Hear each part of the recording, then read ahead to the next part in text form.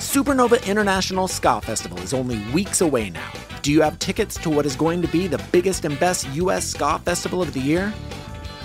Look at this lineup Tokyo Ska Paradise Orchestra, Fishbone, Bad Manners, Voodoo Glow Skulls, Bad Operation, Catbite, Out of Control Army, Rude Girl Review, Stranger Cole, Suicide Machines, and so many more. This is the best of the best. Tickets are $150 for the entire three day fest or $59.99 per day.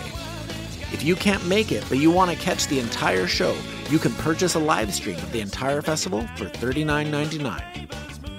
Aaron and I will be hosting a second feed that is included in the package where we'll be chatting with folks at the festival, interviewing bands, and discussing the performance. Head on over to supernovaska.com to grab tickets.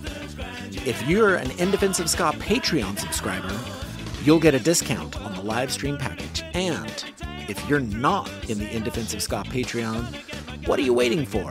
For $5 a month, you'll be supporting your favorite podcast. See you at Supernova International Ska Festival on September 15th, 16th, and 17th. This is the Ska Festival of Ska Festivals. And now, on with the show.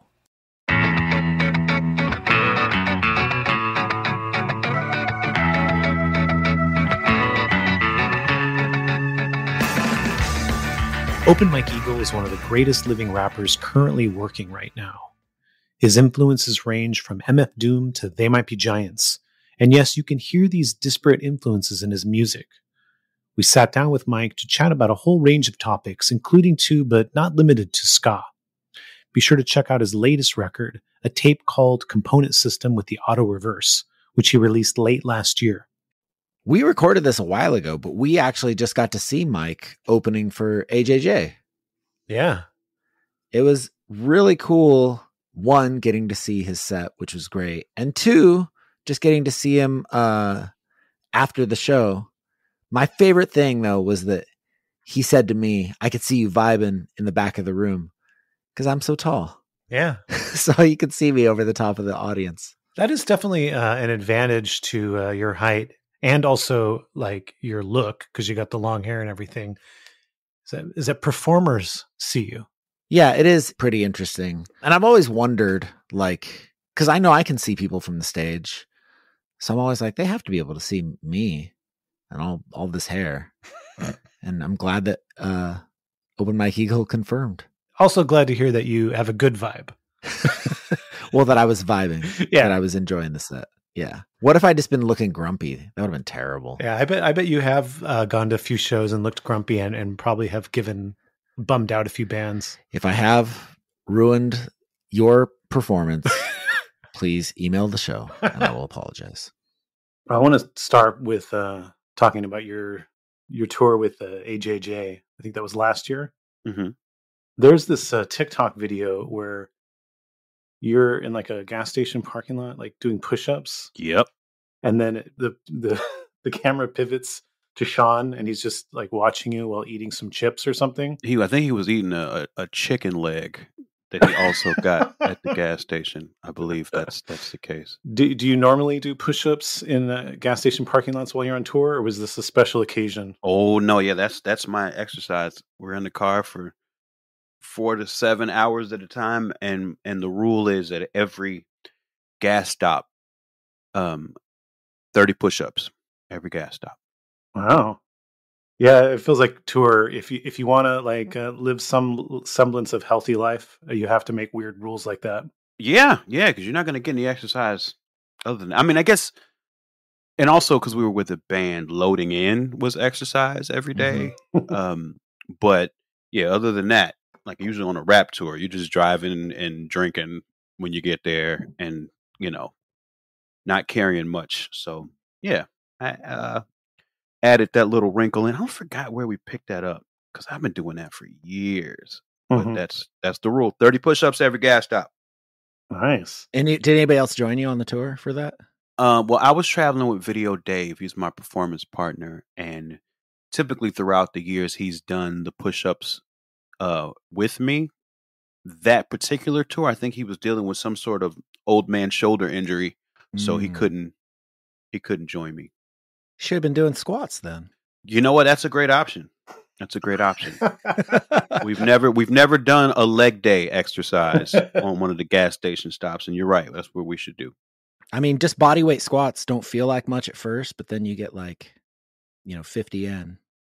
Yeah, my knees are actually hurting at the mere mention of them. So I, I do think I do think you're right. That's that's the way forward. And then for push-ups, are these wide grip push-ups or are you doing military where their elbows are into the ribs? I, I don't uh I mean yeah, I guess wide grip. I don't I don't know too much about um push up technique.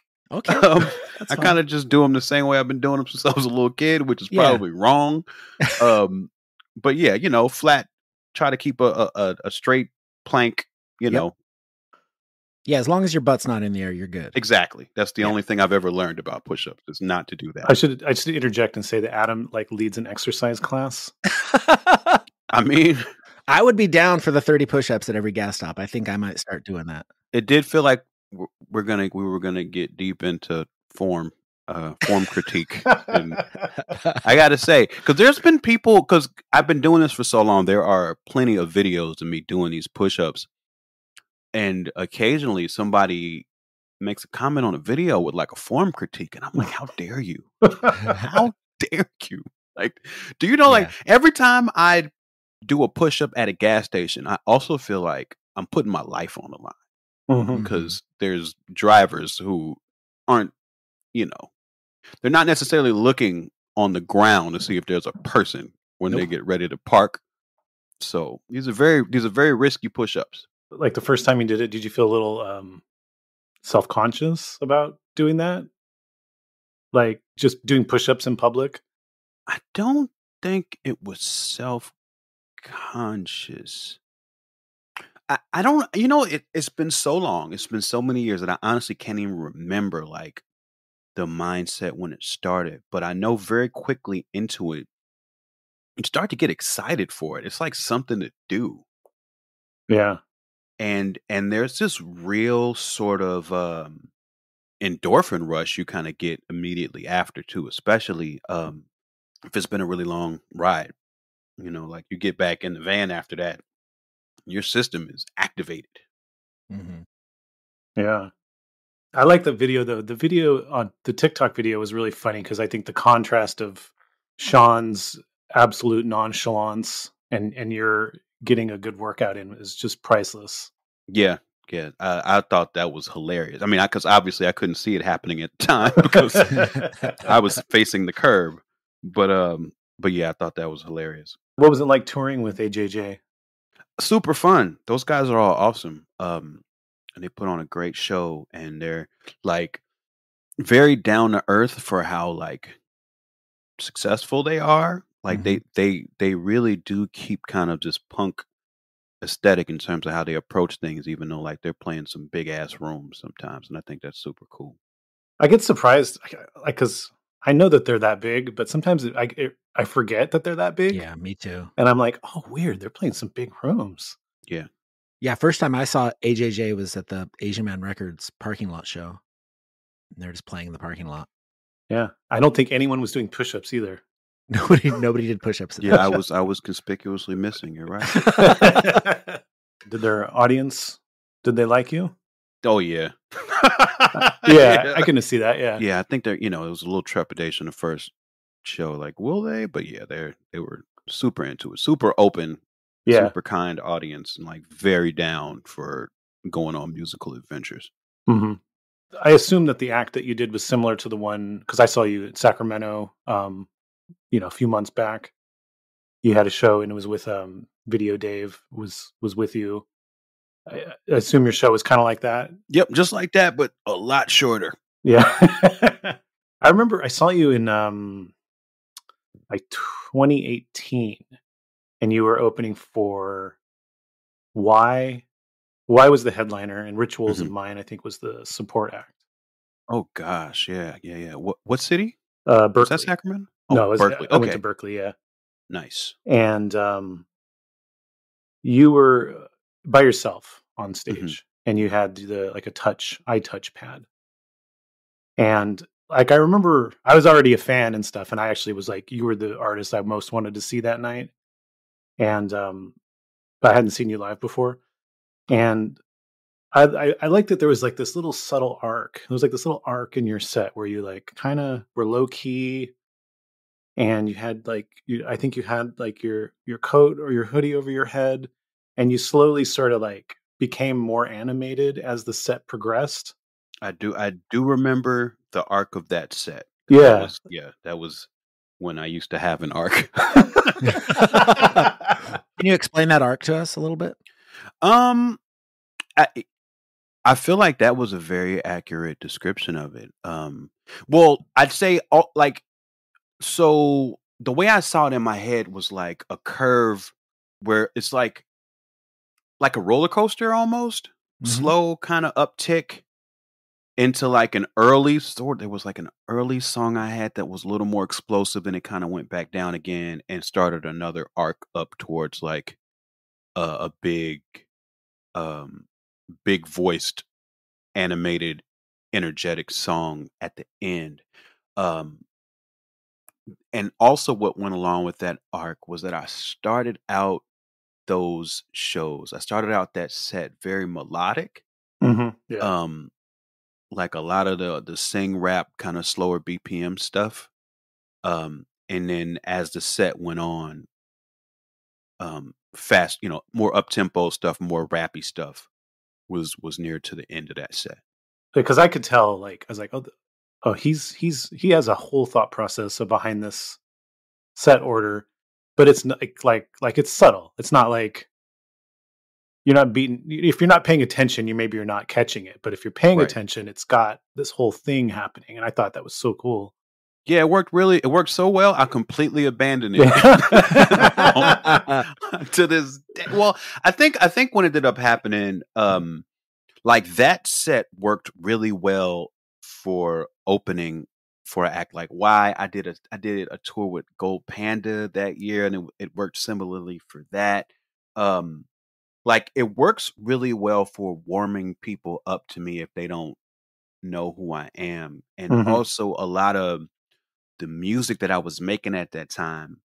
Um, had this sort of dichotomy between very melodic half sung stuff um and rap stuff and i think just as it as as it went on as as my career went on um i started to make music that fit less onto that spectrum easily Mm-hmm. so I, and and and you know i was headlining more too so i just kind of had to reconstitute it based on having like a bunch of smaller arcs rather than this big sort of swoop that I that I was doing in those circumstances. when you were on that tour with AJJ, did you have any particularly particularly amazing shows? Like, I'm I'm curious how, like, for instance, the Chicago show was, since you're from Chicago originally.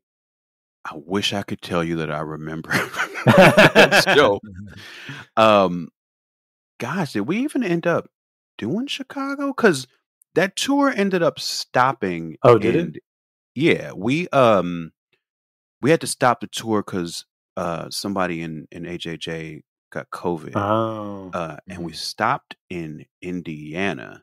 So I I don't remember if we had done Chicago before that or not. I feel like maybe we didn't. oh, what a bummer! And you got you got COVID. Is that's why you was was that why you rescheduled the Sacramento and San Francisco show, right? Yep, yep. We ended up getting COVID uh, during a very extremely treacherous drive from Denver to Salt Lake City, where we almost died twice. That drive is the worst. And then we couldn't go the safe way up through Wyoming because it was snowing and the roads were closed. So we had to go the ass way right through the Rockies. We almost died twice. One time, uh, we were we were going through the Rockies and we realized under very terrible circumstances that the windshield wiper fluid was not working on the van. So the ice started caking up and we couldn't do shit about it. And we didn't know until it was like almost completely ice covered.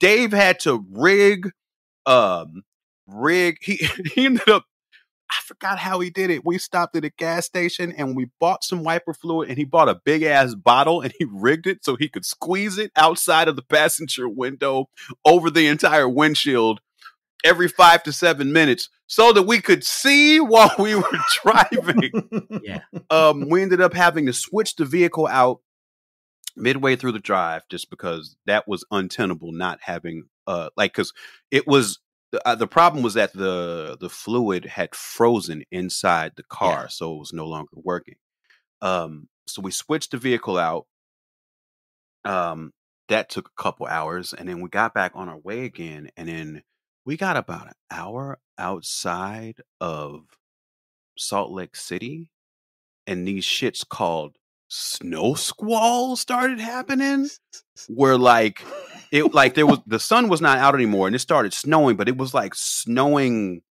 horizontally Mhm. like like we could like could not like visibility went from 100% to 0% like in seconds um and yeah we almost died then too and then when we got to salt lake city finally um we uh tested positive for covid Oh my god. Yeah, Yeah, that that drive. I mean, either way you cut it. I mean, you were saying that's the ass way to go, but through Wyoming's not much better. I mean, it's flat, but it, but it, that freezes up real bad too. I just did that drive back in March, and we took the seventy. This band, the Wonder Years, took the the eighty, and they got stranded. They because once that snows over, once that freezes over, you can't go anywhere. Hmm. And I spun out on on in '98. I spun out on that stretch of 80 oh my gosh black ice in the middle of the night. The, both those drives are terrible. that shit is that shit really sucks And I don't understand the the wiper fluid freezing. Like it shouldn't do that, but it shouldn't do that We experienced that same thing.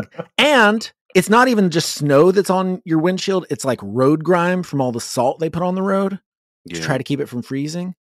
So it's like not even just ice. It's like salt and grime and filth. And then and your your friend though getting the getting the water bottle to squirt out the window. That's smart because we just oh gosh i thought he was a genius he was a genius he he, he was a brilliant move brilliant move MacGyver.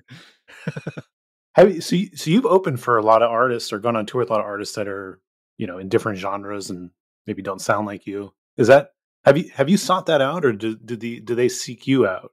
Uh, I think it's a little bit of both. Um, and I think what happens is that a lot of the bands in certain circles sort of like recommend me to each other as somebody who can do a good job opening. Uh, and and um, I have the sneaking suspicion that a lot of um, rock bands, punk bands, um, singer songwriters, they're just convinced that rappers are cooler than they are. So they always we need someone cool on this tour.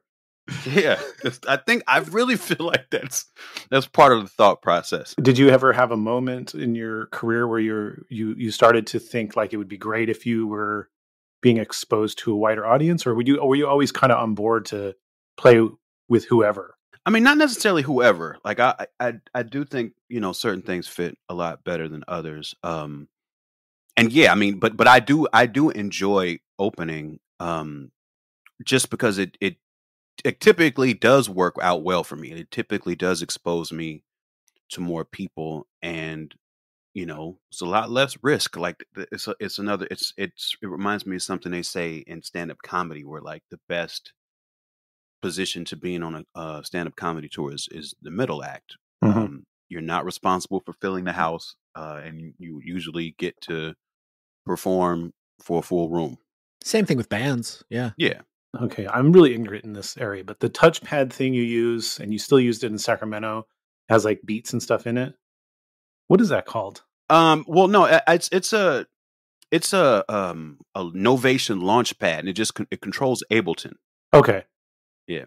You have everything like pre-programmed, and it just just triggers. Yeah, it's it's it's triggering sounds, it's triggering effects, and I, I guess that's pretty much it. Um, the way the launchpad works, it's like a eight uh eight by eight grid, I think, and you can each you can set it up where the the interface like okay so you're, you're seeing the grid but you can press a button to changes the grid to like a different page so like the first page is you know me triggering beats. The second page is like me triggering effects, and then there's a page setting for it where all of those same buttons become uh, a drum machine. You know, like there's a bunch of different ways to program it with Ableton, and that's what I uh, that's what I use. That's my weapon of choice. Is it labeled somehow, or you do you have to like memorize? Um, I mean, I, I have to. I mean, it helps when I've memorized, but also um, with Ableton, everything is kind of in there anyway. If I need to take a peek at it, I can. Okay. You know, like it's all like in Ableton's very grid based to begin with, so you can kind of look and see what's what if you need to. Interesting. Okay. Yeah. I always wondered, and like I don't know if it's quite the same thing, but I remember watching like videos of Shawn Wasabi doing like his music and like like lightning fast, like triggering and, and stuff. And obviously, like it must be a memorization thing, or I don't know what the trick is, but it's pretty crazy to watch. Yeah, I don't I don't know who that particular artist is, but um, I feel like for a lot of people who use those sorts of grids, it's that a lot of the like they might be in different sessions from song to song, but a lot of the Mhm. buttons are doing the same thing inside of each session. If that makes any Oh, sense, I Where, see. like, yeah, yeah. you know, like this button triggers a sample. This button um is a drum. This, you know, so like, There's a system. yeah, exactly, Yeah. exactly. So you're not having to relearn it for every single song. You're just, Exactly. Yeah. Exactly. It's all it's all pretty um yeah, you you kind of set it up how you want to use it in general and you set up, you know, each song session to correlate with with that system you've set up. All right. So you you have a song called Southside Eagle. I do. Okay. I'm from the 90s, Fishbone with Theremin, and Big Hits was love songs to heroin. Yeah. What's your relationship to Fishbone's music? Oh god. Um so I remember like so I'm a kid of like MTV's 120 minutes. Like Mhm. that shit is like a big part of my personality and like college rock and all that shit from that era. And the thing about Fishbone is that artists and and you know uh journalists at that time whatever uh even DJs it's like they used to talk about Fishbone all the time but they would never play Fishbone. Totally. and like I was a kid who was into you know, they might be giants is still my favorite band of all time. And uh and you know, Primus and Ween and um, you know, and and bigger bands like Red Hot Chili Peppers and uh Faith No More and um I feel like Fishbone was always at the periphery, at the intersection of all of that stuff. Um, but I would not actually hear their music much. So I knew who they were, and every time I saw them, I'm like, oh, that's dope. But I wasn't, you know, this is before I like even had money, so I couldn't really buy anything. When I was in college is when I actually started buying a lot of music, and I bought one of their albums, something about a monkey and a brain or something like that. Give a monkey a brain and he'll swear he's the center of the universe. Yes. And I enjoyed this album a lot, but it didn't make me like go buy a bunch of more Fishbone. Now, when my son was like four or five years old, um, I don't remember how this happened, but we started watching a, a lot of Fishbone videos. hmm Uh, and he got really into them, and I got even more into them. And, you know, I started listening to him a little more around that time. And this is maybe like 10 years ago. Um, so now I, I think maybe it was around the time that documentary came out. Every is Everyday Sunshine's Yeah, Everyday Sunshine. Yeah, and and I really got uh into their story then, and then um I have bumped into Angelo Moore a couple times here in in South LA, and I've fallen over him, and he always forgets that he met me. I uh, yeah, we had him on the podcast uh, in 2021, and um, yeah, I, I went and saw him play a solo. Sh- he, he has a solo act, and uh, like this was probably like three months ago, and and I mentioned that he was on the podcast. He's like, hmm, I think I remember. Yeah. yeah. Yeah, that that Angelo, he lives in the moment. he lives in the moment. Yes. Absolutely. Do you have any favorite uh, Fishbone songs or albums or anything? So, uh, on the album that I have, which is the the Monkey and the Brain in the Universe, um, um, Unyielding Conditioning is a song that I really, really like. Uh, and um, so Lightning from the Sky Will Strike You Down. I don't think that's the name of the song, but that's like the chorus. Um, yeah. It's, I think it might be called No Fear. Um, so I like that one a lot. And then when I got into them, when me and my son were watching the videos a lot, um, there's a song they have. It's called Modern Industry.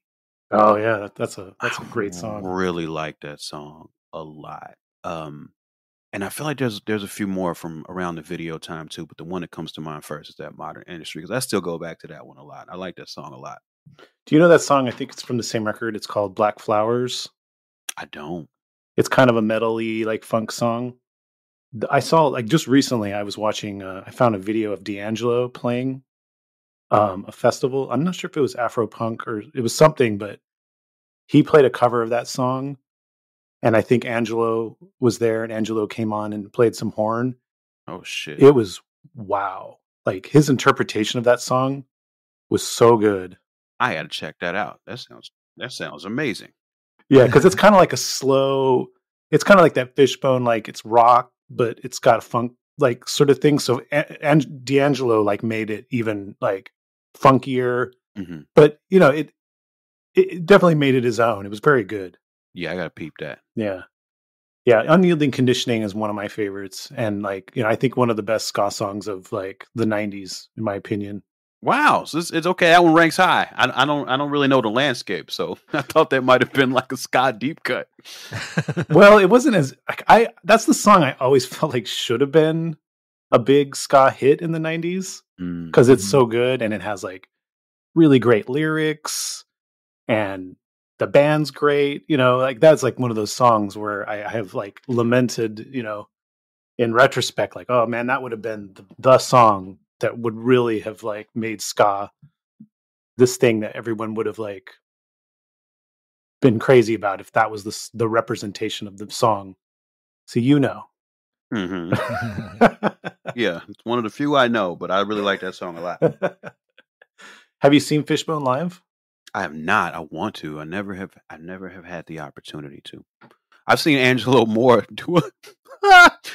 um at L.A. and this was this used to happen more. I feel like when I first moved here, which damn near twenty years ago. They there there's a lot of uh, like community sort of um festivals. Not quite the right word, but um it's like you know a community event in a park in South LA, and there'll be a, a, a small stage, and there'll be a lot of uh, local vendors selling selling a lot of handmade stuff. Um, and that's you know that's just historically been something that happens a lot in LA, and it's always really dope. Um, and there was one that was mostly attended by um, a bunch of old middle aged black women, and I saw Angelo Moore get on the mic and he was wearing uh he was wearing okay a pair of pants no shirt and the pants were held up by suspenders Mhm. and the pants hung low enough where you could tell he wasn't wearing any underwear um and i and i don't remember exactly what this poem was about but i think it was very explicitly describing vaginas um, at some point. point and i just watched him freak out an entire like field of people it was incredible oh, that's beautiful. yeah The reality of my surroundings. He has like several poems that come and go, and um, there's one where he just just goes off about the meter maid. Fuck the meter maid. Mm. And I remember as a kid being like, "Why is he angry at the meter maid?" And then, as I got older, I understood. Fuck the meter maid.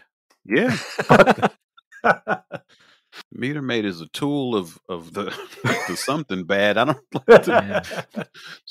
the tool of the the man yeah. devil Yes. All right. So you mentioned they might be giants. I know that's like, uh, yeah, you said like one of your favorite. no that's that is my absolute favorite band All right. Let's talk. Uh, I love they they might be giants too. One of my favorite bands. You discovered the band from MTV from Birdhouse in Your Soul. yep had to be 89 or 90 So what was your? Do you remember like what your thought process was when you first heard it or saw the video?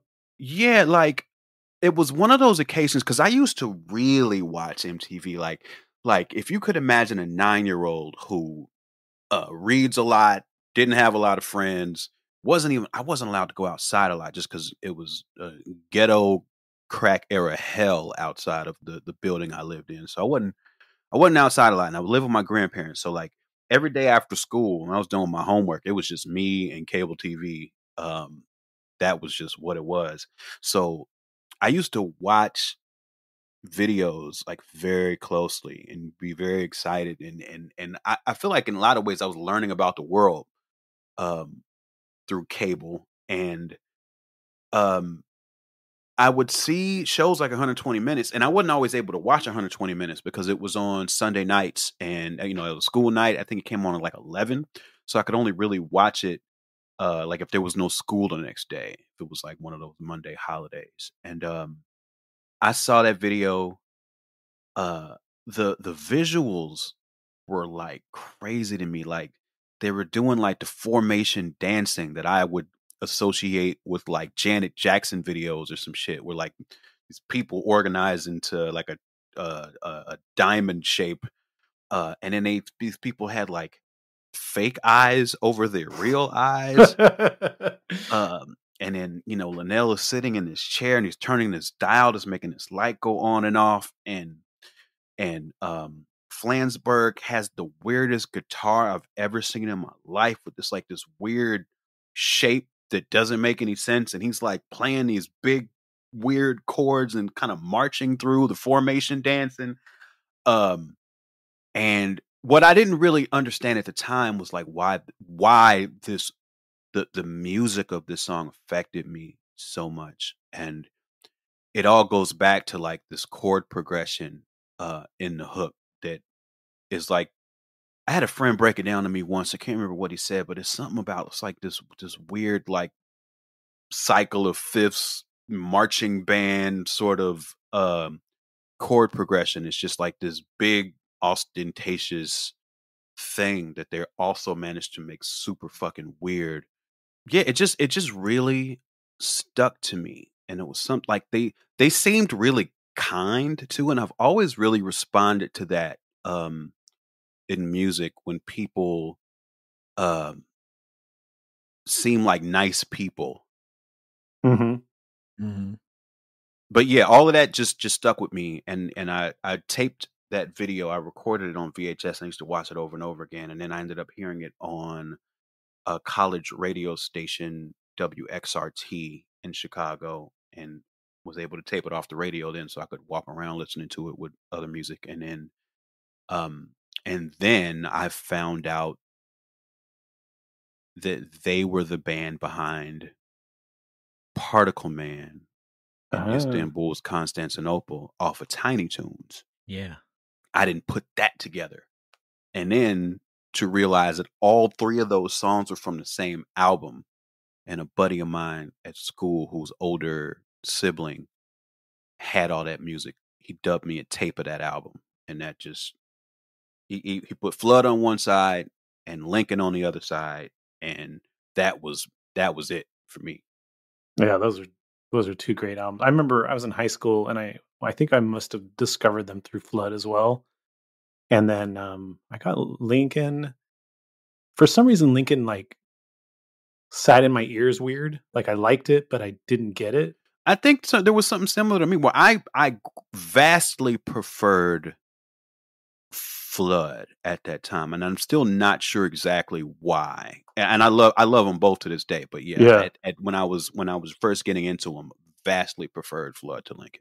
And then so I we uh, my band had a show in like Southern California, so I was like I'm going to listen to Lincoln the whole time. I don't know why. It's like I like wanted to like it, but I didn't understand it. And then I felt like by the end of the trip, I was like, I like it. I guess I had to hear it like five, six times. Yeah, I think the the lyrics on Lincoln are way like like just a, there's a lot of real shit, real rough, tough, um, heartbreaking lyrics hmm on Lincoln. Um, I think the thing with Flood was, um, they met a producer that really understood how to how to get the best out of the sound they were making, Mhm. and I feel like that's part of what makes makes Flood so sticky. Flood is like manages to be um accessible, but like very weird. I mean, like Particle Man, like what a weird song. So strange. Yeah. Probably my favorite song on Flood is Dead, which Dead is incredible. that's an amazing, but it's like this piano ballad. bag of groceries accidentally taken off the shelf before the expiration date. Yeah, that shit is awesome. Yeah.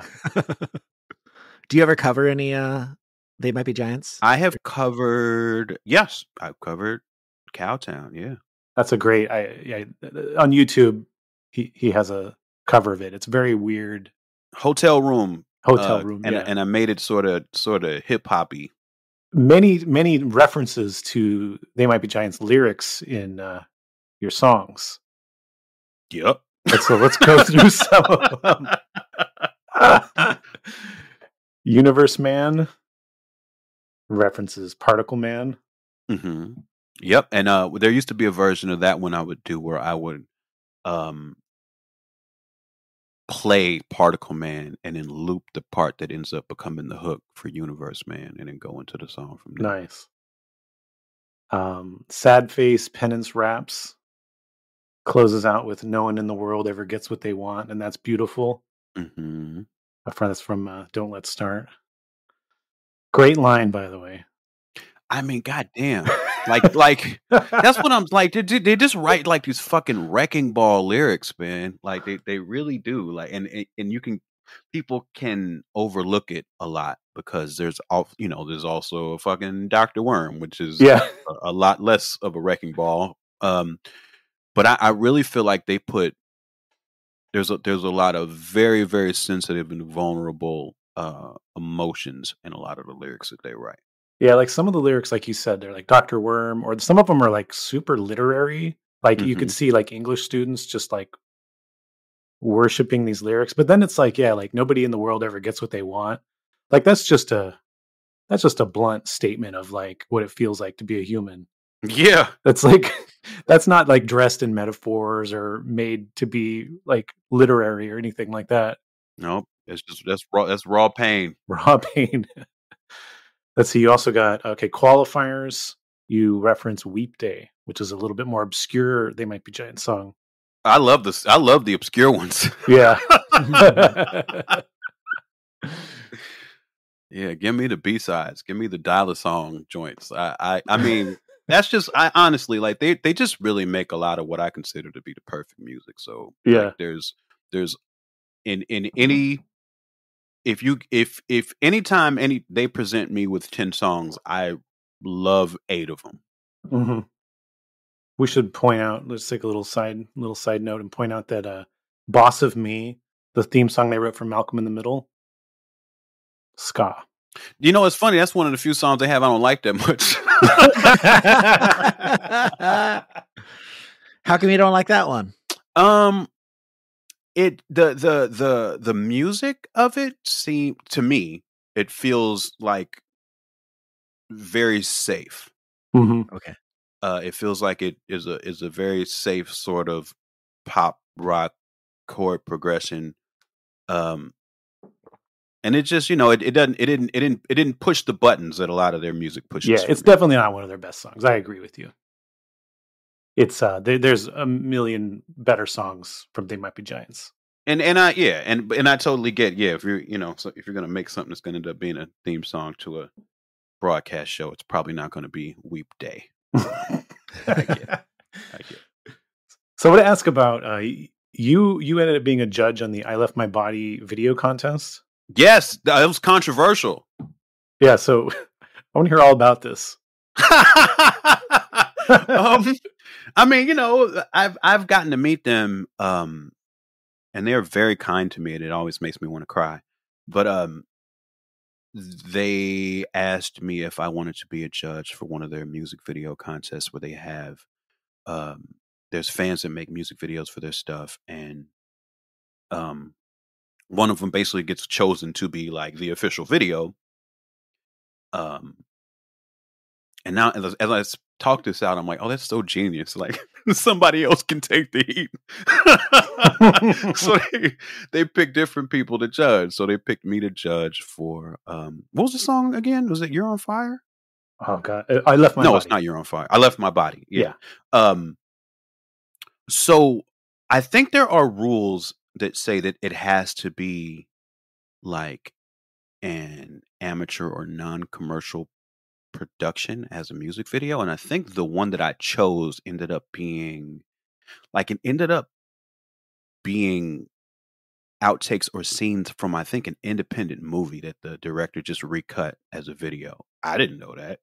I was just like this is the best video. But um when they announced the winner and people found uh looked into it and found out that it was uh that that was how it came together they got real mad what was the do you remember the first time you met them? What that was like? Yeah. Uh it was backstage at a show they did at the Regent in LA, I believe was the first time. Well, that was the first time I met them in a capacity where like I was someone to meet as well. because I had seen them live uh three or four times before that. Uh the first time so then the first time I actually I met Flansburgh for the first time in college. I went to one of their shows, and it was like a, you know, this is Carbondale, Illinois, at a place I think called Copper Dragon. It couldn't have held more than like 250 people. Um, so it was a kind of gig where afterwards, um, Flansburgh came out and was signing stuff. Um, he drew this really nice uh, freehand drawing on the back of a white Puma jacket that I had that I managed to not wash for a couple of years before it became became untenable to continue not to watch it. Um, so that was the first time I met him, and it had to be like what 2001 or Mhm. 2 or something like that. Um, but then when I met him, um, as an adult and as somebody who had uh, some notoriety of his own, it had to be 2014, 15, something like that. So Mhm. uh, going back a few years now at, at the uh, at the Regent, and I was allowed backstage, and I was just trying to hold my body together, talking to my heroes, uh, just trying to play it cool, just trying to play it cool. yeah. Do you remember what you said? I think that what happens every time I see them, all I all that I can do is find new ways to tell them I love them. You know, I think that's that's the mission, and I don't know whether or not I accomplish that every time, but uh, but that's that's just what happens. It's like because I'm I'm such I'm a I'm such a fan of theirs that like when like whenever they drop a new album, it's like Christmas for me, and Mhm. and I get really into the to the new shit too. Um, so like I I, I usually have very specific compliments about the new project. Hey, that's the way to do it. Mm-hmm. yeah, yeah. I mean, yeah. I, I think it, I think it's work. I think it works out okay. But I I am I probably embarrass myself every time. there's like level like there's certain artists that you can like become friends with and kind of get over that but then there's certain artists that you just can never get over that Yeah, no, I can't. I can't even take it. I can't take it. Like when they're talking to me in my face, like like as a human, I'm like, how is this happening? Like, what is what what circumstances of life lead me where I can be in this room having this conversation with these with these two dudes, and then you know even the rest of the band, like they're all really nice to me. So it's like seven dudes that I'm like, why am why why am I here? Like, what is this? and they're all just like super cool and nice and we're just uh, you know uh, having a drink after the because we, just did this again like about a month ago i saw them here in la and got to hang out with them again and uh every time i die a little bit and it's great i saw you tweet a little while back about their cover of uh the pixies Hava, Havalina hmm yeah um you you you think you like it i saw like not some not all your uh, followers liked it but you're a fan of it uh the their cover of Javelin, i Yeah. love it yeah I, I think it might be better than the original it's different i, I mean they're both great yeah I just I like how they interpret. I think it, they play like organ as the lead on it or something. Yeah, it's, to- It's some- yeah, it's a yeah. very different vibe to it. Yeah. And I like that. I think it's Linnell singing his voice he does on it. It's so weird and cool. Like, yeah, I, I really like that song a lot. You're a big fan of Pi- Pixies too, right? Yep. I saw you did the 60 song 60 songs about 90s on the Breeders. Um, Oh yeah. yeah. Um, what's your favorite uh, Pixies?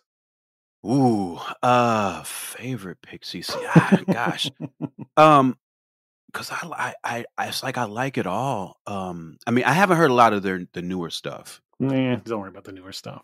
so but that's, that's really hard for me because I'm also like this is the thing with me. My first entry into all of that was Frank Black's solo stuff. Yeah, I, I like Frank Black solo stuff, or some of it, anyways. He's got hit and miss as a solo artist. Teenager of the Year, I heard that before I heard anything else from that entire outfit. Uh, like Headache is like one of my favorite songs of all time. So I really got into Frank Black and I really got into Breeders before I even knew about the Pixies. Mm-hmm.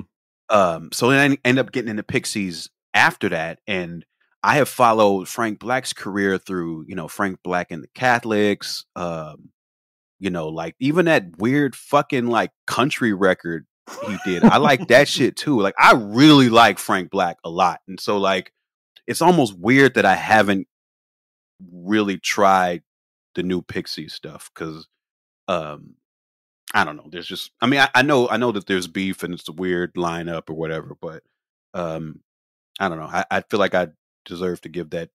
That shit deserves a Deserves a chance. Yeah. deserves a chance. Yeah. Um, can't say that I, I, I cannot tell you what my favorite because I, I okay. So, gouge away. Is that on Bossa Nova? Gouge Away is on. Is that Bossa Nova or Doolittle? I can't remember. It might be Doolittle. I, I get them all mixed up because I just like them all and I play them all. Uh, um, yeah. Crackety Jones. Yeah. Is that on? I don't. Whichever album, like like, uh, and it might be Doolittle, it might be Bossa Nova. It could be both of them. Gouge Away's on Doolittle. Okay, Yeah. so uh, my, Doolittle might be my favorite. Um, but I also really like Trompe Le Monde Mm-hmm. Trompe Le Monde's a weird one, but yeah. because it's Frank. It's a it's a Frank Black solo album. Yeah. like it's one of those. And that's the thing is I don't mind that because I really like Frank Black. Man, they really went hard playing. Uh, Headache got so much play on 120 minutes. I feel like every single time. And you know who directed that video? Who? John Flansburgh. Ah. it all comes back around. All comes back around. Did you ever used to videotape uh, 120 minutes? Yes, uh, as much as I could because I typically fall asleep during it, and um, Yeah. and it wasn't often that I had a two-hour tape either. Yeah. I wasn't allowed to stay up that late, so I would I would program the VCR. Ah, see, I didn't. I, I should have done that. I didn't. I didn't get into VCR programming. Do you have is is that is it controversial to ask you if you have a favorite uh uh they might be giant songs? Uh, it's not controversial. It's just going to be a long ass list. I mean, I don't know how much Yeah, but like- time we have here. Like, how many do we want? Do you have a top five? Do you have a Top five. Yeah. Uh, okay, so Birdhouse is one. Mhm. Um, okay, I'm just going to give you a sh- just a just a short list. I'm not going to put them in any order of Okay. just songs from, of theirs that I love. Um, they have a song called "Definition of Good" that's incredible. Um, uh, "Where Your Eyes Don't Go," Mm. fucking amazing song. Um, "Stalk a Wheat" just popped into my head. Deep album cut, I think from the Spine or the Else, I forget which one. Incredible. Um, let's see. Oh, turn around off of uh, is it is it Apollo 18? I think is what they, uh, turn around is one of my favorites. A- an- uh, same album, um, which describes how you're feeling. Oh, and I yeah. can, I'm gonna stop because I could just keep going. Yeah. That's the thing. I could just keep going. Like, I, man, so many, and every album, new favorite songs. They're really my favorite. Okay. I want to switch to Adventure Time. Okay. You uh you were on uh one or two episodes, I can't remember. I was on one episode. I did two different voices on that episode, though. And you're a big fan of the show as well. hmm Huge What is it about the show that uh, you like? heart. Mm-hmm. I love its heart. I love that it's it's unabashed. Like I feel like when that show came out was kind of the height of modern hipsterism and one of the calling cards for hipsterism in my eyes was that you know society leaned into like apathy real hard Yeah. and irony and i'm just not a fan of that shit like i'm Yeah. not a fan of being too cool for the room not a fan of like you know people were fucking smoking crack and drinking pbr ironically um on some fucking weird nihilist uh shit that I was never down with. Like I I I'm I'm down with caring about things. Mhm. And Adventure Time is a show that has always been like very upfront about giving a shit about his characters, his characters giving a shit about each other, um, and really exploring the layers of humanity, even though all these characters weren't human, but just like they did a great job of introducing characters as villains and then through the show's caring about them you start to peel back these layers and see these tragedies behind almost every villain on the show and it's just you know it's just that that level of depth and humanity um always really made that show resonate with me You were the gingerbread man in the Son of a Rap Bear episode, and and you did a like a, a bat, rap battle. yep What was that experience like? Uh, especially, I'm curious on your take on like what you think of the music, because the music often it doesn't have a like a steady rhythm, and how how you kind of work through with that and, and with them on that song. I ended up doing a lot of work on that episode with them even before I was officially casted in it because I have I had a relationship with the showrunner at that time, Adam uh, Muto, and um, he he knew I was a big fan of the show, and he knew me as a rapper, and um, he's a fan of mine to some degree, and he knew how important it was that they get rap right um, to the best of their ability, given that a lot of the show is written by people who don't rap um, Mhm. and and didn't understand the nuance of it. So um, I worked with them to kind of smooth out to the best of my ability a lot of what they were attempting to do with rap and, and kind of making it work. Because you're right, like there wasn't a lot of backing tracks, there wasn't a lot of um, rhythm, and you know a, a lot of the way these the, the raps were originally written, you could tell what they were uh, trying to say, but they didn't know a lot about like word economy. They didn't know a lot about meter in in in the sense of having to make sure that there's a balance between the amount of syllables in the first line and the second line for like rap to like really make sense. Um, so I helped out a lot with that stuff. Um, and I think you know, just with the nature of animation and how they had to be at the storyboard uh, phase before they even brought somebody like myself in to to look at things meant that like there wasn't a ton that could be changed. Um, but I think we did a, a- pretty decent job of getting it um, getting it to where the characters were were doing what they were intending to do, and it was also working in the time that they had to have each um, each sort of verse sit in in the um, in the runtime of that episode. So yeah, I mean it it was it was a, certainly a challenge, but uh, I loved it. I loved it. They cared enough to have somebody in to help them out on that stuff and and, and try to get it right. Were you were you involved directly with building the beat, or more more as an advisory position? Yeah, I mean th- yeah, I had nothing to do with the beats at all. Okay. Uh, yeah, the beats uh, were already you know kind of set in stone by the time I, I was involved in the process. It anyway. Okay. But then just a matter of carving carving out how the how the lyrics were going to fit. Exactly. Yeah. Exactly. And and I because if I remember correctly, all the lyrics were written before there even was a beat too. So there was that Oh. whole thing of trying to fit uh fit what they wanted to do in the in the confines of the beats that were were available. So at the Sacramento show, I saw you. Um, you you played your song for Doom, tribute Mhm. to MF Doom, and then um, after that, which I thought was probably the best part of the show. You oh, when I did somebody else's song. well, it's the emotion. of it. Damn, Aaron. 'Cause you said this one's for me, yeah. and then you played it, and you came in the audience, and you, yeah, you you, you did the song, but you also were like enjoying the song. You you were like kind of. It seemed like you weren't performer anymore. You were just kind of. You were you were amongst us. hmm But Did that originally start as a, a freestyle, or did you? You didn't? Did you write that out? Yeah, I, I wrote that a couple days after he passed away. Yeah, that song. That's that's a really like great like emotional and touching tribute.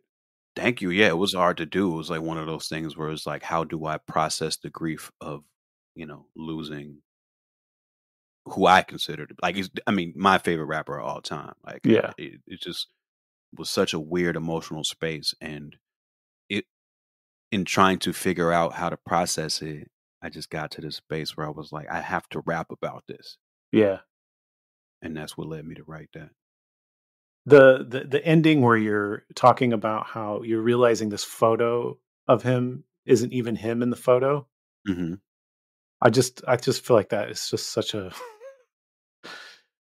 it's so perfect perfect way to comment on the enigma that is mf doom Absolutely.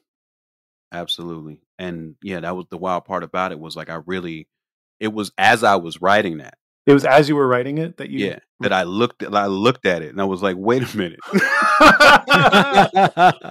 Because I yeah, I've had I've had this because a, a buddy of mine is a um he's been a photographer in the LA underground the entire time I've been here. And um I bought that piece from him later because he does this thing where he like he somehow um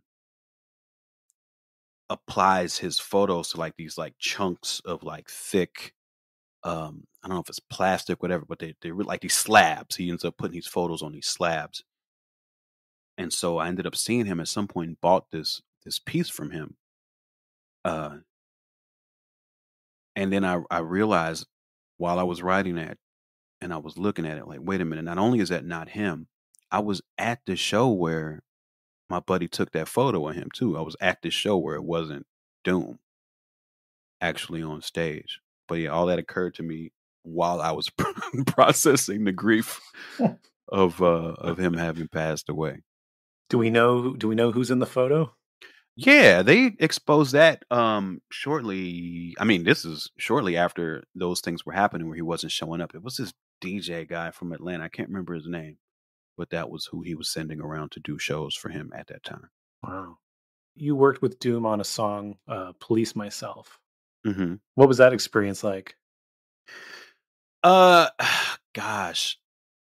I mean, it was all in the course of making the New Negroes television show, yeah. and a lot of that is such um a extreme mashup of super highs and super lows that it's it's sometimes hard for me to parse out one moment from another how that all went. I mean, I remember I was backstage at a show that I was doing in London when we got the email back where he had laid his verse on the song.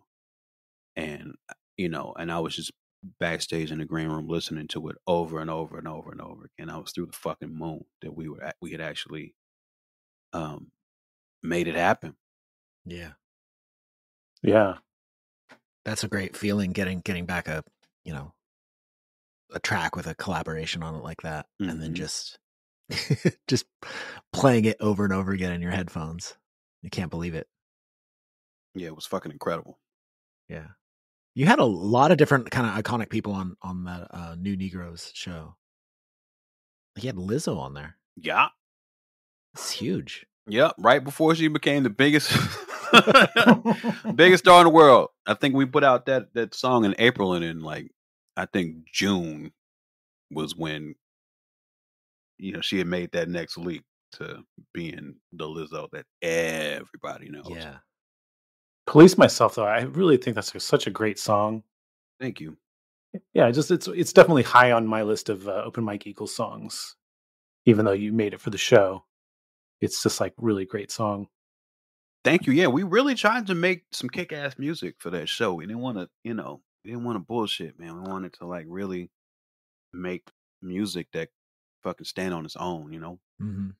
That was my favorite part of the show was the the closing video segment because it was you know it's not it's not how a comedy show normally ends. Like here's a video of a song. Yeah. Yeah, that was that was a a, a challenge in the production of the show as well. Mhm. But that's you know, a whole nother can of worms. I read an interview you did in uh, American Songwriter. This is about, uh, I think, starting hip hop in Chicago. And uh, I want to just uh, see what you think about. It said finding hip hop, finding the hip hop community in Chicago, uh, and how it was a meritocracy and based on being dope at rapping, break dancing, and graffiti. It really gave me a lot of building blocks to build my social self.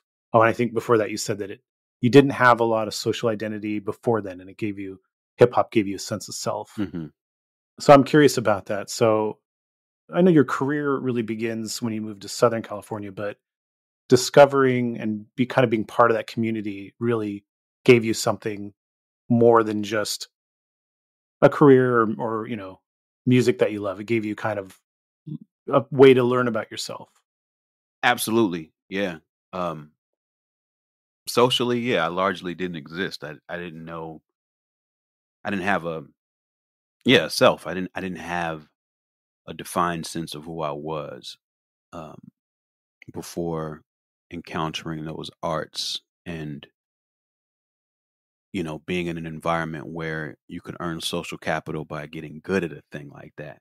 Um it just really changed um well, it started to give me an idea of who I was and what I could do and and who I could be, you know. You and Hannibal Buress were friends pretty early, right? You you were his uh weren't you like his advisor in college or something? This is RA. All right, yeah. so th- th- there's a story, right, where the two of you were battle rapping, and um, he ended up winning because he weaponized the uh, your position as an RI as an RA. He did a very good job of making people laugh at me because I was an RA. a lot of your early career, it seems like you you have a connection to stand up comedians. Um, obviously, Hannibal was on uh, most of your early records. Do you feel like a kinship towards comedians?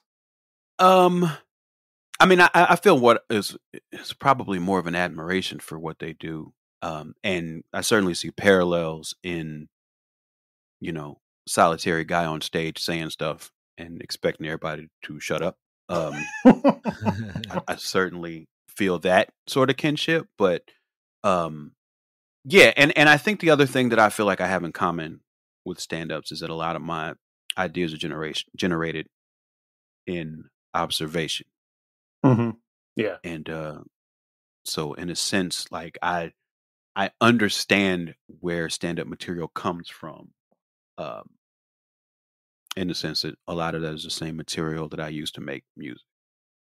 You definitely have a lot of lyrics that are, yeah, similar to stand up co- comics in that it's like you're finding the humor in something, but you're also finding the um the truth and the pain in it in the same time, hmm which is like some of my favorite like some of my favorite songs of yours or lyrics have that element to it where it's like funny but also painful at the same time, and I and I, I just think that's great.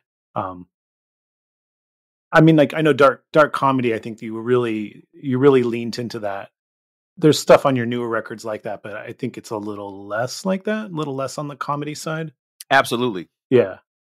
Absolutely less. Um you know, I think when I when when I made the music for New Negroes, it had to be so comedy forward and then the sort of lasting emotional impact of how all that ha- all, everything went down with that show it, it's like I, I wanted to it made me want to do that less it, it made me want to like lean into different parts of my creativity and making music i felt a little comedied out hmm um and it's and, and in a sense, I feel like shit is less funny these days too. So I think that's Yeah. also got something to do with it. Yeah. No, it does definitely feel like the last two records you did are a shift. I mean, I guess that that works in the timing you're saying. It also works into the timing of we had a pandemic. You went through a lot of your own personal struggles and trauma, and uh, those the the the, mo- the most recent two records. I kind of feel like it's you know you can recognize the the old your older stuff, the career, the tra- trajectory, but kind of feels like a little different path now. Sure, yeah. Yeah, but I, I dig it. I especially um, uh, anime trauma and divorce is probably my favorite record of yours. That's raw shit, man. It's raw pain. shit. What's the one? Uh, oh yeah, what the fuck is self care? That song like both cracks me up and like I just I, I I I there's so many layers to that song. Like this the the the idea of self care being this like industry is kind of I feel like touches on that, but also just like what it means to what self care actually means for you in the midst of trauma and stuff. I don't know. That song, I just I could listen to that song so many times. I, yeah, I, that song that song comes up with people a lot. I feel like that's one of the ones like I see people like making little videos for and shit like all the time. I, I really, you know, um I was questioning it from this very specific space of the self care that I that I see advocated for or advertised a lot. Seems like it's for a very specific class of person Mm-hmm. Yeah, with a very specific access to resources and shit that I don't have, like shit that's not in my neighborhood. And so I was questioning it from from that place, but I think um there's a deeper resonance with people just questioning the idea of self care uh overall. yeah. Head ass, yeah. great. Um, I want to ask about the video because you and Video Dave are in the video, Mhm. and you have um some headgear. Yeah, we got asses on our heads. Yeah. uh, did you guys make it yourself, or did you? Uh, Oh no! So the same um, props person, uh, art department person that made the stereo head for a component system with the auto reverse, the, the cover for that, uh, made the the ass the, the head asses, uh, and it's in reference to this in living color sketch. Um, I think it's called like the Buttmans or something like that. There was a sketch with these with where everybody had butts on their head, so we had her make uh, replicas of that. And she also works on the incredible Netflix television show. I think you should leave. She also works on that. ah. She's awesome. Shout out to Elaine Carey. Coffin flop. Call yes. Yes, coffin flop 50. I didn't do fucking shit. Real quick, what's what's your favorite sketch from that show? oh God, do I have a favorite? Okay, um, Calico Cut Pants is something I go back to a lot. Wouldn't you agree? like, oh my god.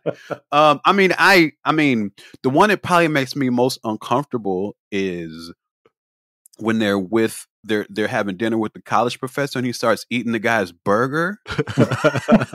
Like that shit makes me so deeply uncomfortable, and I cannot figure out why. Um, Yeah. But I, I like. I, I think I like every sketch. I think I like all of them. I, it's just it's an amazing program. My favorite one is is uh tables. When she's Oh! around talking about how the tables Is that with the with the uh like it's like a DMV class or something? Like a Yeah. a- yeah yeah not DMV uh and he's like, We're not gonna talk about the tables. yeah like what does she do for? Oh my god! Somebody actually ruined it for me though. The the tables she she rents them to like uh she rents them to like uh like comic conventions, like where they have all the like people sign like where you get your autographs. That's what she's supposed to be doing. Well, I mean, is that does it ruin because of that? I don't know. Like it's so much weirder when it's just abstract and she's just like screaming about Eddie Munster like put, putting footprints on her tables. But that's one of the things I like about that show is when at the end of a sketch, like they give you the reason that it's so weird. Like there's that one um sure. with the copy machine and and the the the lady employee makes some sort of pun about it and she's mad that nobody's laughing or something like that. but then at the end, it's like revealed that I, I forget they made it make sense somehow because um ah, I can't remember how they made it make sense, but that's what I it made me like it even more that they gave it a, a, a reason why she was going batshit about nobody laughing, you know.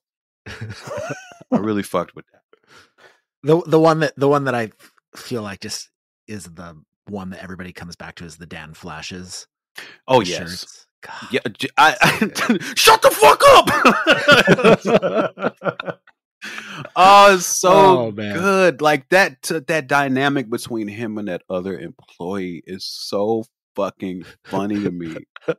and I, I just like all those little workplace ones. Like you can't like you can't you can't push back lunch. like, He's got the hot dog up his sleeve. Yes. And the one where like the guy was surfing on the conference room table and he fucking turns the whole thing over. Oh, the workplace, and then Calico uh, Cut Pants is like the perfect workplace one. You know? Yeah. Every, every time I turn on Netflix, I have to stop myself from just watching that whole series again. And and it's really funny to bring this all back around. Yeah. The tour with AJJ. Yeah. All of us constantly quoted that show every fucking day. Oh, Every day. Amazing. Love that. Who do you like better of, of the two guys in AJJ? there's I know AJJ is five guys, so there's no way I could choose. Okay, Sean or Ben? Who do you like better? I like them both equally. I like I like I like Ben better. Only because Ben Ben's tall like me, and and I like hugging other tall people. Ben is Ben is very tall. It's true. Yeah. Yeah. I have to ask one more head ass question. Peter Dinklage, the Peter Dinklage line, you say um, he'll never hear this. Is that true? Has he never oh, heard it? No, he's he's not heard it. It, it, it. To my knowledge, he hasn't heard okay. it. I feel like he must have heard it. Someone must have said it to him. Uh, I don't know. Like there, there's a 50-50 chance with anybody that I reference may or may not hear their name. Are there any references that have come back and people have been like, "Hey, you said that thing about me"? Uh, Marc Maron. Um, I said I had mentioned him on a song. That's it was roundabout how I ended up getting on his podcast. Yeah. uh, Joe Rogan heard that I mentioned him in a song. Um, Jon Lovitz heard that I named a song after him. And, and everybody was happy about it. Nobody was unhappy that I'm aware of. Good. Good. But I, you know, I, I definitely try to make it a point not to shit on anybody I actually respect in any sort of way. So, so I want to go back a little bit. You, uh, you did this show, um, Mike, the Mike Eagle show, like a live mm-hmm. show, back in the 2010s. Yes, indeed. And uh, there's a video segment. What's the best sandwich? What's the best sandwich? oh, I got to bring that back, man. Is it was that a one time thing or did you do that? That was the only time I ever did that one. See, when I I only did that it was a variety show, kind of like talk show with music that I was doing, and I only did it five or six times. But my plan was I was going to come up with a premise that good every time. but none of ever were as good as that one. Like that was the first one and the best one. So the the guests you had, like they got they were aware of the premise and they had to write an actual verse on yeah, a sandwich. I, I told them all the premise at the beginning of the show. so they had to write a verse throughout the show and be ready to present it by the end. Because you see them, they're you know they have their iPad or whatever, and they're mm-hmm. they're reading their pre-written verse about the best sandwich, and is uh, I think that part actually makes it slightly funnier. Oh, it's great. Yeah. that is not just great. a freelance about sandwich. It is a thought out verse about thought sandwich. out. You had to you had to be ready to impress. You had to have setups and punchlines about your favorite sandwich. We need convincing. oh yeah. Um yeah, I don't know what else to say about best sandwich. Just uh I think, you know, that was the peak internet maybe. For me, it was. it's all been downhill. For, for me, it was for sure. Like with, for me, without a doubt, that was my finest moment. I did it. I can die happy. So on uh, your new record, um, component systems with auto reverse, you have the song a peak lockdown rap, so that was the first song you wrote for this record. It was. Um, can you talk about that? Because I feel like that song really that really captures the headspace. I think Man, we all it felt. was twenty. It was deep in 2020. It was deep into quarantine. Yeah. Um, and I had to like force myself to write a song, and it'd been months since I'd written anything. Um, and that beat felt as dark as I was feeling, and I just fucking started writing, you know. And it's it's it's and and that's the only recording of the song as well. Like one take, never redid any part of it Mhm. and and that's Mm. that's the song like i felt like it captured the energy the emotions i was feeling thoughts all of it just right there What was the weirdest thing for you with that that time period? Like, I mean, I definitely had a lot, but I want to hear yours. um oh gosh uh i mean I, I- my whole life was weird because i you know I, um so i got divorced the year before that. I i moved out of my apartment i mean i moved out of my house into an apartment march 1st i went on tour march 3rd for no i'm sorry maybe i think it was february yeah uh i moved into that apartment february 1st and then went on tour like two days after that and i was gone for like two weeks and it was supposed to the tour was supposed to pick back up in two or three weeks and that's when the world shut down so like i just moved into that place like it, it was barely furnished and suddenly i couldn't go anywhere Yeah. yeah so like my whole life was just a fucking huge mind fuck at that time it was all strange What did you do as far as groceries?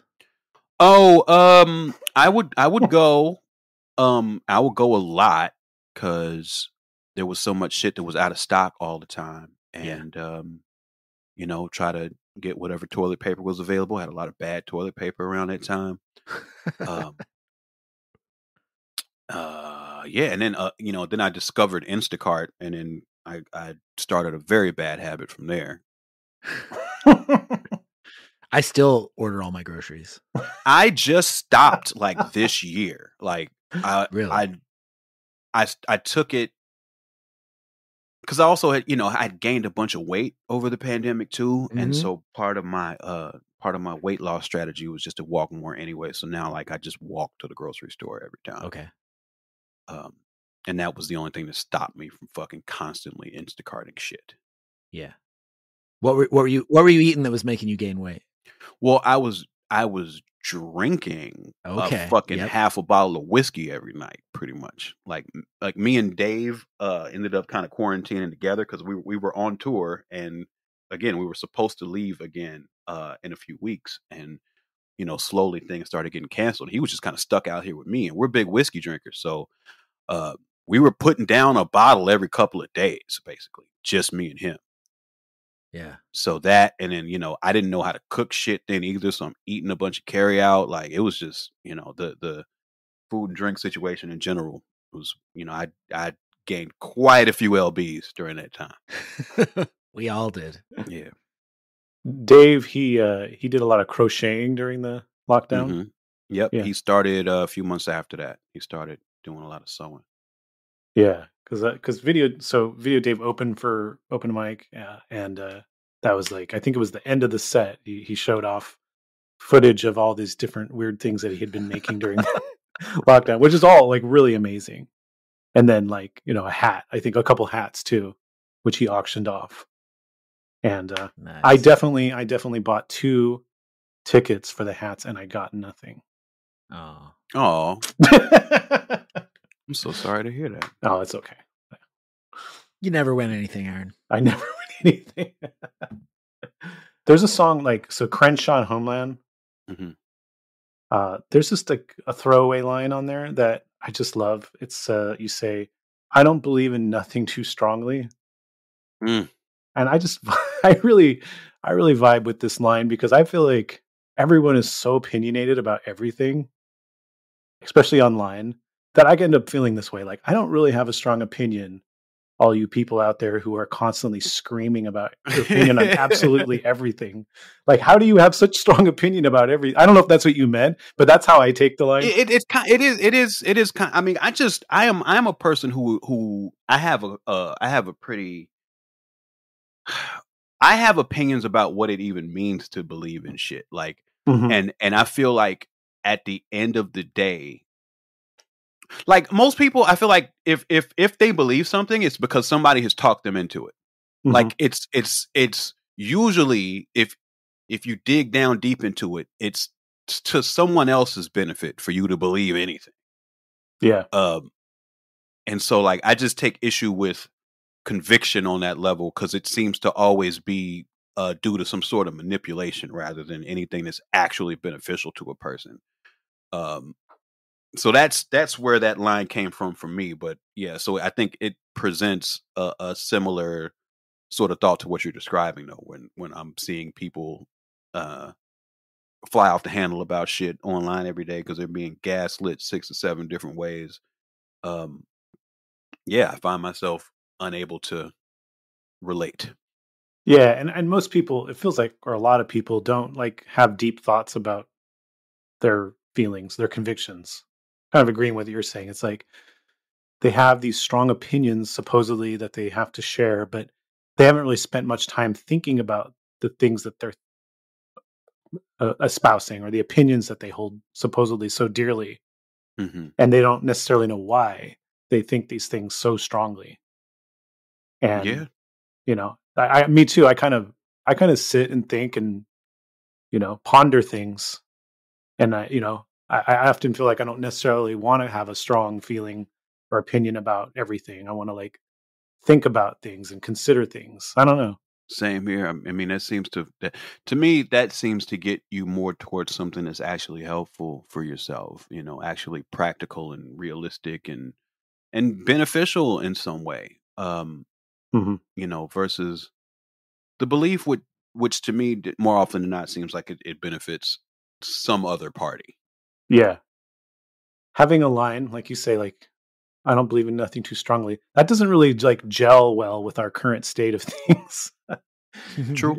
people people with strong opinions bad ones get a lot of attention Yeah. I, I mean, yeah, I, I, I, I won't say I struggle with that, but I understand that to be the case as well. And you know, I, I, you know, like I Twitch stream and shit like that. It's like, yeah, I could probably do a re- get a really big audience if I was fiery about some shit, you know. But I'm Mhm. kind of not, you know. Yeah. I'm kind of just learning and and thinking about shit and trying to figure shit out, which is a, which is a much slower burn sure um, considering what people are, uh, how people are building audiences these days. so okay you did a pitchfork video years ago and you you ranked punching nazis as underrated Oh yeah, very underrated hit them with hammers. Get them. have you ever have you ever had an encounter a punching nazi encounter no, Nazis know better. like you know, like yeah, if you're if yeah, I mean, if you're if you're coming to my show, you're coming to start some shit, and and I don't think that wouldn't be a smart move, you know. No.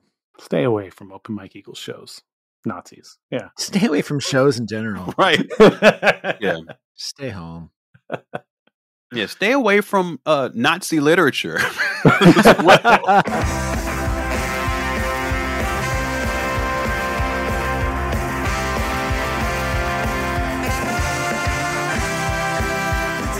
Don't go anywhere. If you want to hear the rest of this conversation, head over to our Patreon. Thank you for listening to In Defense of Ska. Please rate and review this podcast and tell a friend. Follow us on Twitter, Instagram, and TikTok at In Defense of Ska. Pick up Aaron's book, In Defense of Ska, at your local bookstore or online. This podcast is edited by Chris Reeves of Ska Punk International. This is your co host, Adam Davis of Omnigone, leaving you by saying Ska now more than ever.